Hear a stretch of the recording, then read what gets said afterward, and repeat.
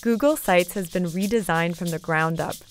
Now it's easier than ever for anyone to create team sites that look great on any device. To start a new Google site, head over to sites.google.com and click the Create button, or go to Drive and click New. Here we are. Let's start by adding a title to our first page and then a background. This one. As you see, the title, color, and background automatically adjust for readability. Now let's add some text. You can change the size of the text by selecting among several options. You can move the text by clicking and dragging the sides of the box and it will snap into place. To quickly add sections, just double click the page to bring up this disk. There, we've added a section. Now let's add some content. On the side panel, click Images.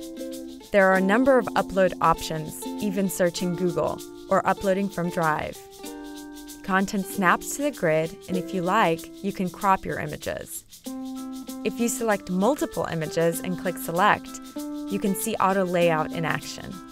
What's really cool is that you can copy content from anywhere and paste it into your site. Just select what you want, hit copy, back in your site, hit paste, and there you go. You can also drag and drop files from your desktop right into the site. There. Okay, we have some text, a file, and nice images. Looking good. Now let's add a new page. When you click Pages, you'll see a list of all the site's pages.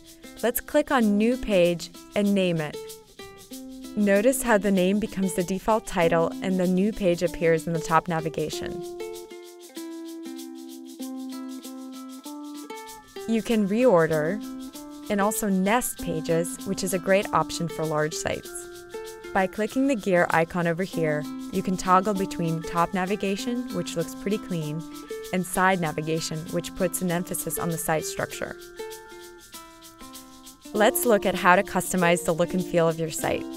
Click Themes. We currently have three theme options with different font styles and background colors. Choose a theme, then color, and font style to best reflect your content. Now let's start collaborating on the new site.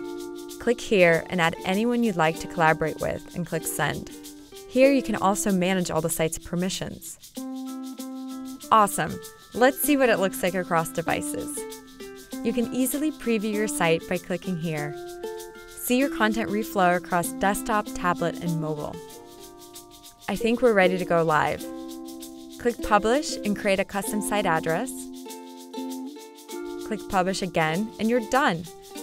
Edit your site anytime and click Publish again to update your changes. Just so you know, the edits are always saved in the cloud, even if you don't publish. As you can see, using Google Sites, you can quickly create a modern, beautiful site that looks great on any screen. Go to Drive and try it out today.